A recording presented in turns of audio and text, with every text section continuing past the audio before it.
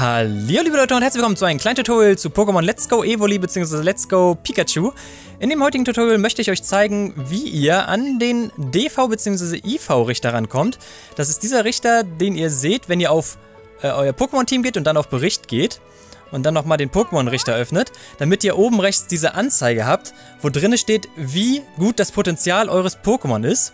Ich glaube, bei Evelyn und Pikachu ist das sowieso von Anfang an immer alles sensationell. Also die Pokémon sind richtig krass, die sollte man auch im Team behalten. Aber damit ihr dann halt zum Beispiel auch wisst, wie gut eure anderen Pokémon sind, bei welchen Pokémon es sich lohnt, es zu trainieren oder wenn ihr zwei gleiche Pokémon habt, damit ihr die vergleichen könnt und wisst, welches ihr dann zu Professor Eich schicken könnt. Und auch zum Züchten von Pokémon ist das sehr interessant. Und ja, damit ihr diesen Richter bekommt, müsst ihr einfach aus Orania City. Hier bei dieser Frau bekommt ihr übrigens bei Pokémon Let's Go Evoli ein Akani oder bei Let's Go Pikachu ein Snobillicat, falls ihr das noch nicht wusstet.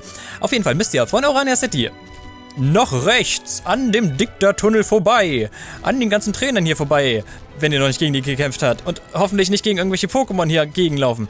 Und dann habt ihr am Ende einfach dieses kleine Haus, da geht ihr rein und im oberen Stockwerk seht ihr dann einen Assistenten von Professor Eich. Der Dude hier, der mit der Brille.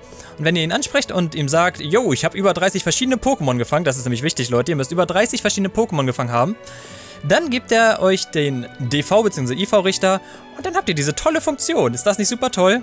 Diese Richtertexte werden übrigens in sechs verschiedene Kategorien eingeteilt. Da gibt es einmal sensationell, das ist wirklich das allerbeste. Eine drunter ist dann fantastisch, das ist auch schon sehr, sehr gut, aber halt nicht so gut wie sensationell. Darunter ist dann sehr gut, dann noch gut, dann nicht übel und dann schlecht. Wenn dein Pokémon irgendwo schlecht drin hat, dann würde ich es sofort wegschicken, weil dann hat es wirklich gar keinen DV-Wert in dieser einen Kategorie und dann hat es wirklich gar kein Potenzial in, in diesem Bereich. Ja, dann würde ich sagen, was das aber mit diesem Video. Wenn euch das Video gefallen hat, dann lasst doch bitte ein Like da. Ich habe jetzt vor, in nächster Zeit ein paar mehr Pokémon-Tutorials zu machen, weil ich das gerade zu Weihnachten bekommen habe. Und ich finde, das ist ein sehr schönes Spiel. Und ja, wenn ihr die Videos nicht verpassen wollt, dann lasst doch auch ein Abo da. Und dann bis zum nächsten Mal, Leute. Tschüss.